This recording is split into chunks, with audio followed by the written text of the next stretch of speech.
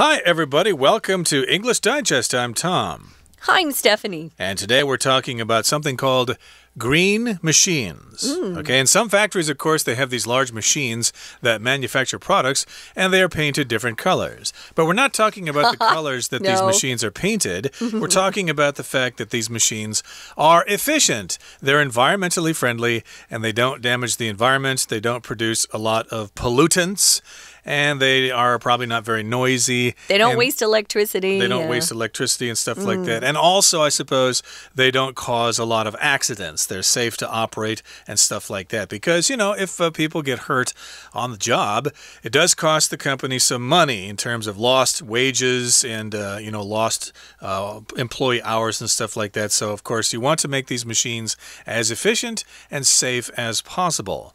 Now, in the uh, lesson for today, we've got a CEO, the chief executive officer of the New Wave Corporation. And AMC did an interview with this person, and he's talking about his new manufacturing facility. Yeah, it's also going to have some AI or artificial intelligence. Uh, robots will be a part of our lives more and more as time goes by. The sad part of that is it will cost people's people their jobs, right?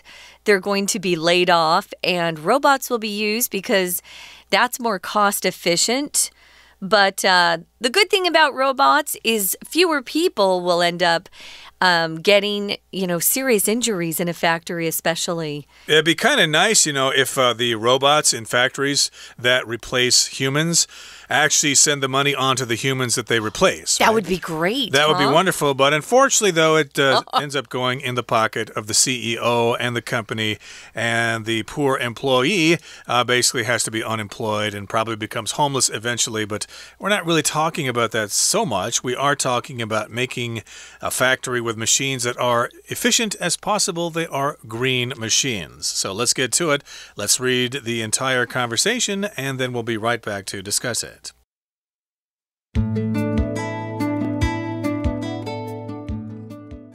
AMC Magazine spoke to Addison Zhuang, Chief Executive Officer of New Wave Corporation, about his new manufacturing facility. When we planned our new factory, I had a very clear agenda to make it as sustainable as possible. My goals were minimizing waste, eliminating inefficiency, and adopting environmentally friendly technology. While the financial aspect was important, it wasn't the be all and end all. I wanted to put the planet first.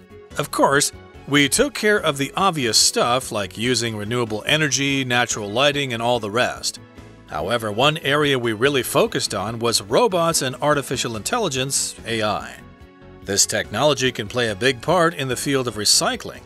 Most recycling plants are very specific about their requirements and only deal with one or a few materials. Therefore, sorting is extremely important. Thanks to AI, our robots can sort the right materials with ever increasing accuracy, reducing labor costs and times both here and at the recycling plant. In fact, the robot's accuracy is beneficial in every part of our factory. With AI, their pinpoint measurements help reduce waste and increase the efficiency of all our machines. In addition, we have robot only areas that don't need lighting or heating, which in turn reduces our energy needs. We plan to expand our use of robots even more in the future. In fact, we have some interesting new developments that I plan to share at next January's Consumer Electronics Show.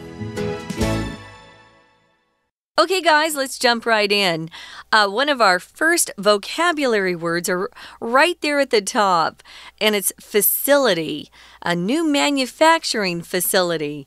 When you talk about a facility like this, it usually is a big building that has equipment in it.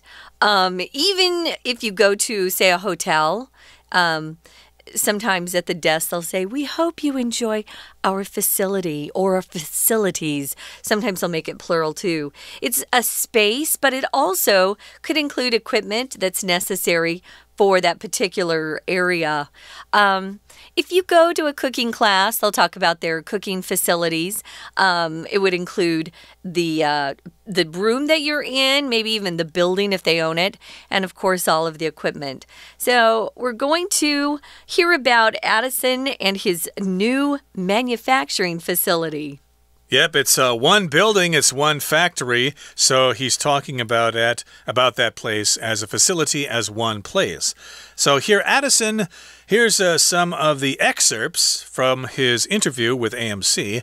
And he says, When we planned our new factory, I had a very clear agenda to make it as sustainable as possible. So here we've got the word agenda. Mm -hmm. Usually, your agenda is a list of things that you're going to cover in a meeting. But in this particular case, it kind of means your goal or, again, the things you want to accomplish. Sometimes you'll hear it, especially if you're watching a movie or a TV show, and there's a bad guy, and he has some sort of uh, evil agenda, something he wants to accomplish that's pretty bad and hurts other people. So we use it like that too. If you hear it in um, some sort of piece of fiction, you could be reading a book and come across it that way as well. They're certainly not using it as a list of uh, discussion topics for a meeting where you usually will hear about it, at least here in Taiwan. So they, he says he has a clear agenda. He knows what he wants, and their agenda is this. And it's interesting, it's singular here. He just wants to make the factory or the manufacturing facility as sustainable as possible. Of course, that will include a lot of different things, but that's their primary goal. Exactly. So they don't want to waste resources, basically. So this is a good suggestion. If the government has various laws that control pollution and stuff like that, then of course you want your facility or your factory to be sustainable. Mm -hmm. But also, it can help you make money in the long run by being efficient mm -hmm. and mm-hmm. not polluting the environment and uh, recycling stuff. And of course, it can uh, make everybody happy. You can produce nice products and keep the prices low, and uh, you have lots of employees who have jobs jobs for a lifetime, etc. So, yes, make the factory as sustainable as possible. And he goes on to say, My goals were minimizing waste, eliminating efficiency, excuse me, eliminating inefficiency, and adopting environmentally friendly technology. So, yes, those are the things that he wanted to accomplish my goals were the following to minimize waste. So, yes, minimizing or to minimize waste just means to make the waste as small as possible. The opposite of minimize is to maximize. You want to minimize waste and maximize efficiency. If you are uh, using any sort of software program, you know, they have windows, you can minimize the window or you can make it full size. Um, you'll often see that minimize the screen, minimize the window. They want to also eliminate inefficiency. To eliminate means get rid of something entirely. So they're trying to get rid of inefficiency. Um, that could be with machines, it could also mean people. A lot of people are very inefficient workers. Um, one of the things I really appreciated about a couple of people that um, was their manager. They were really efficient. They didn't waste time. They didn't sit there and just gossip with their coworkers. They got the job done and then they wanted to go. They wanted to leave on time. And I thought that was great because they were in a, they were efficient. Why not? Hmm. You don't have to stay until eight o'clock just wasting time. The, he also has a, a goal of adopting environmentally friendly technology. So the tech that they end up installing in the factory needs to be environmentally friendly, not produce a lot of uh, pollution, not waste a lot of energy. Um, so, those are all re really good goals. He's got one more here, though the financial aspect or the financial part of it. What's that for him? Tom? Well, he says specifically here while the financial aspect was important, it wasn't the be all and end all. So, yes, it is true that the area of finance was important. In other words, the financial aspect or the idea of making money, that of course was important.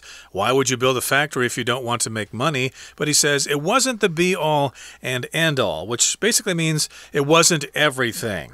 I think this phrase, the be all and end all, actually comes from a Shakespeare play, Macbeth. I believe that's where I saw it before. But uh, yeah, it just it doesn't mean that that's the end of it. It means that there's more to it. So it wasn't the be all and end all. It wasn't everything. Yes, money is important, but there are other things besides money. He wanted to put the planet first. He cares a lot about uh, the Earth. So, moving on to the next paragraph, it says, Of course, we took care of the obvious stuff like using renewable energy, natural lighting, and all the rest. So, he's already done his part. He feels like they've already thought through some of these things to make the facility or factory more green. However, one area, you could also say one aspect, we really focused on was robots. Robots are a big deal these days, and artificial intelligence, which we all know by now is AI. Uh, typically, we'll just say AI, right? Um, artificial intelligence. So, this technology can play a big part in the field of recycling. How is that? What do um, the robots or the AI help? How do they help with recycling? He says most recycling plants are very specific about their requirements and only deal with one or a few materials.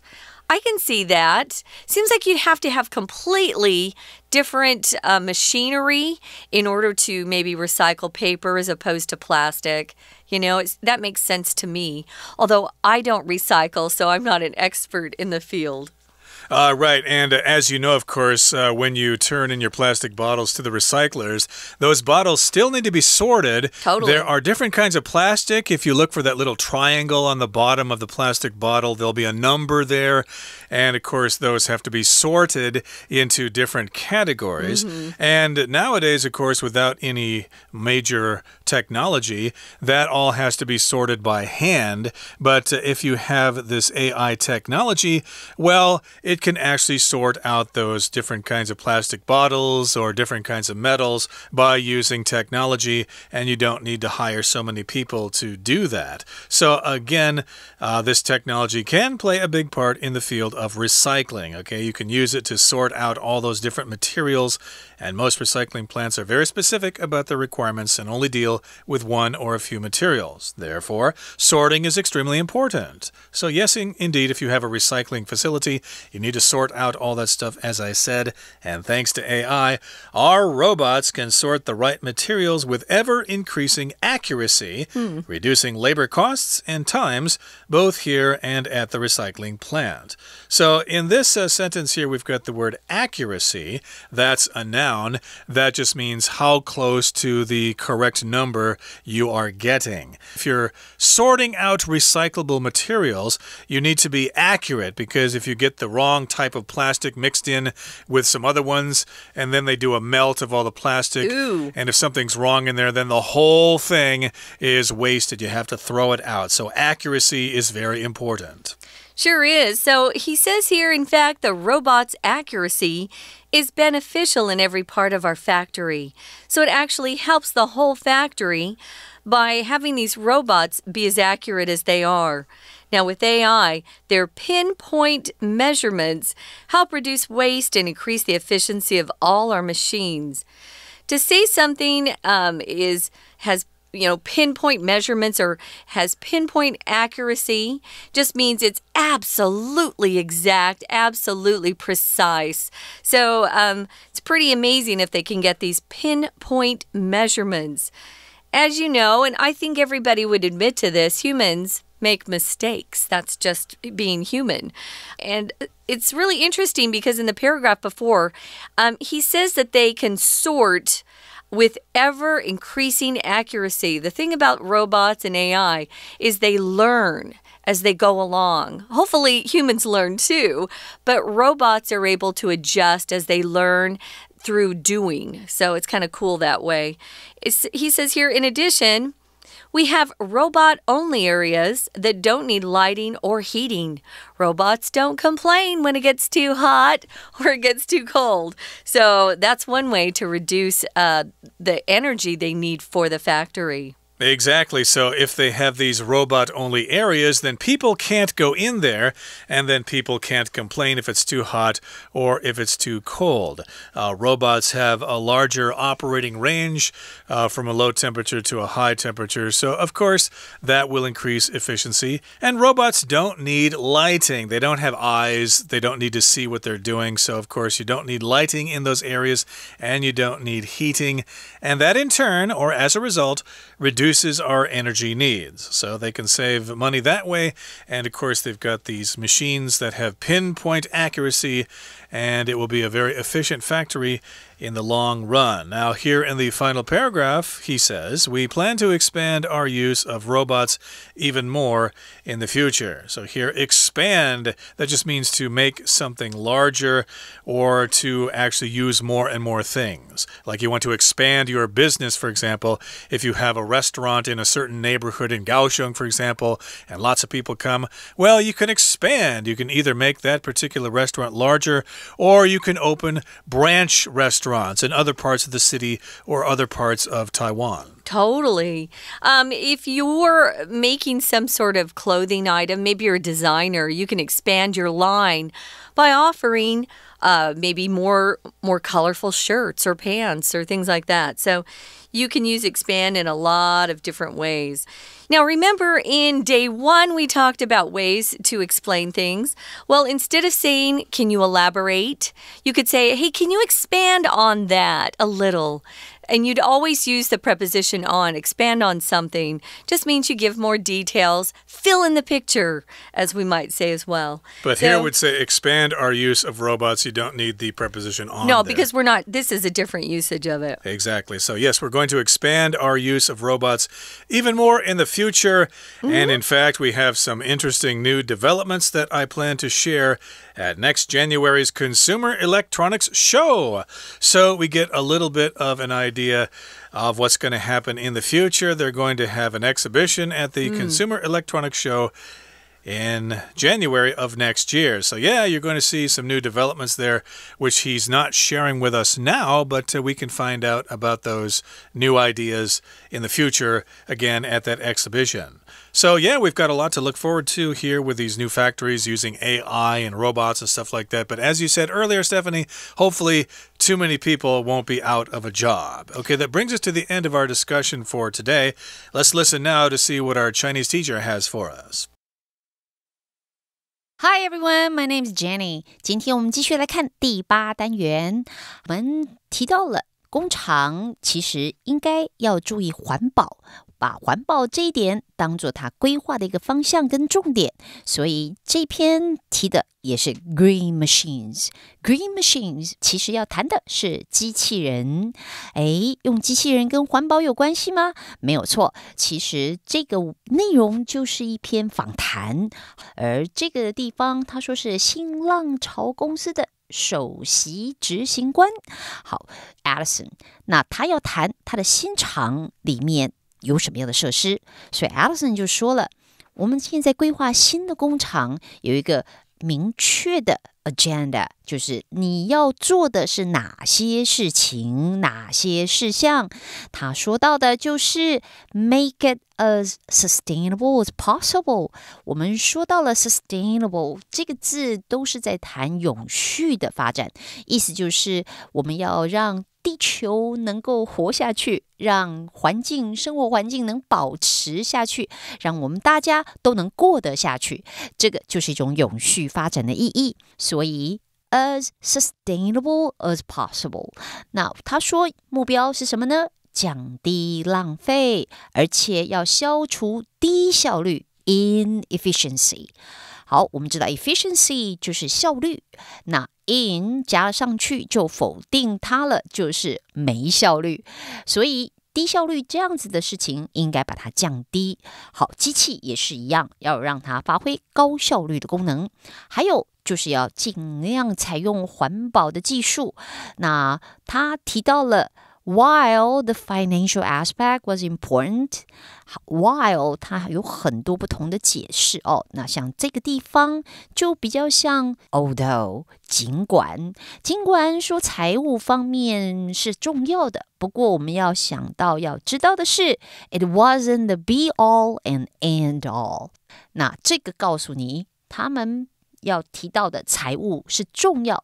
重要归重要，这可不是全部。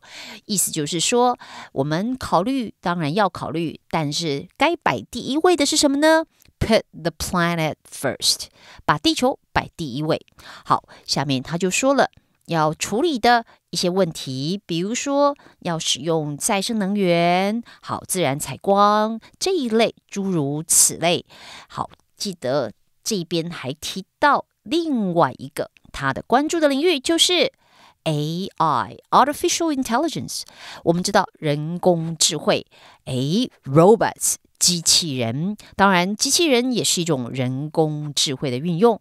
我们知道这个技术，它提到在回收的领域是扮演一个非常重要的角色，play a big part in 这个片语就表示很重要，在。至少回收界，我们晓得它会用到 robot，还会到用到 AI（artificial intelligence）。那下面就说了，其实啊，很多回收厂它呢都是说，嗯，它有很明确的要求，它只处理一种或少数的几种材料。那分类很重要，分类的过程它就会用到了 AI。他提到。Sorting is extremely important。我们看到 sorting，sort 其实就是代表哎分门别类。好，那我们知道回收厂里面又有各种不同的垃圾，你需要分这是哎可回收的里面的哎塑胶的哪一种塑胶哎。这是纸类，这是等等等分类要怎么做呢？因为有 AI，所以它就可以怎么样？它就可以非常精确的来做到正确的分类。好，这边注意到了 ever increasing accuracy，这表示它是一直提升，它的准确度一直在提升。再来，下面。就提到，嗯，实际上呢，我们知道机器人的这种准确性，对于工厂的每一个部门都是有用的。With AI，with AI，在这个地方的 with 就是有了，有了机器人，具备了机器人这种人工智能 AI 的话，嗯，their pinpoint measurements help reduce waste。 这里说到 pinpoint measurements，就是指它精确的测量，这样子就会提高我们的效率。还有，他还提到刚刚说到 AI，提到它有一个区域，它叫做 robot only areas。我们注意到这边提到只有机器人，也就是全机器人的这一区。那他讲到 we have robot only areas that don't need lighting or heating。好，接着后面加了 which，我们一样要停下来看一下这个逗点 which，这是非限定用法。那它讲的其实就是指前面说的叙述的这件事情，说我们有这种全机器人区域。哦，那这样子的事实，就让我们的这个能源的需求减少了，因为机器人不需要照明，机器人不需要暖气。好的，我们今天讲解就到这边结束，我们下次见。We're gonna take a quick break. Stay tuned. We'll be right back.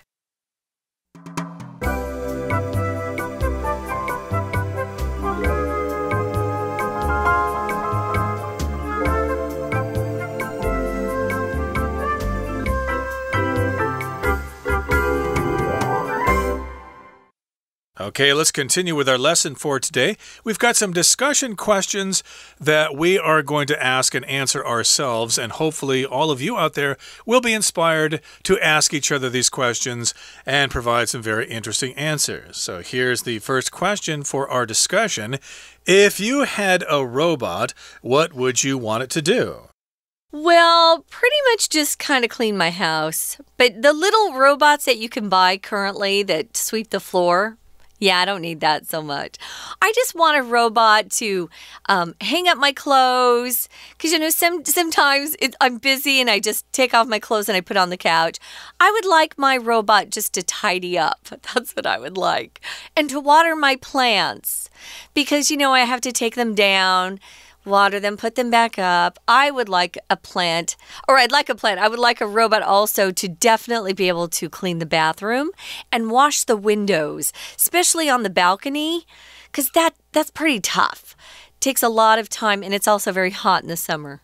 Well, you know, they say that we're supposed to get about three or four hours of exercise every day. Uh -huh. But I work so hard, you know, and I don't have energy for that. So I would like my robot to actually do my exercise for me. Okay, How is that going to uh, help the, your body? Yeah, the robot can go out and play basketball or go jogging or something like that. and hopefully I can lose a bunch of calories that way oh. and stay in shape. Of course, that's only dreaming. That's not possible. we still have to do our own exercise. but of course, uh, one thing I'm thinking about here is we all know that uh, society here in the world, in Taiwan, Korea, Japan, is getting older and older. And of course, we're getting people who are requiring caregivers. So I'm wondering if in the future we can mm. have hmm. more robots taking care of elderly people because there aren't so many young people around. And there are just so many people from Indonesia or the Philippines or Vietnam or whatever that we can bring into Taiwan to take care of our elderly. Hopefully, we can figure out a way to get robots to you know help uh, elderly people take showers and stuff like that, uh, shop for food, cook for them, uh, etc. But I would want something more alive, you know, to be there. Uh, right now, robots aren't at that level for sure.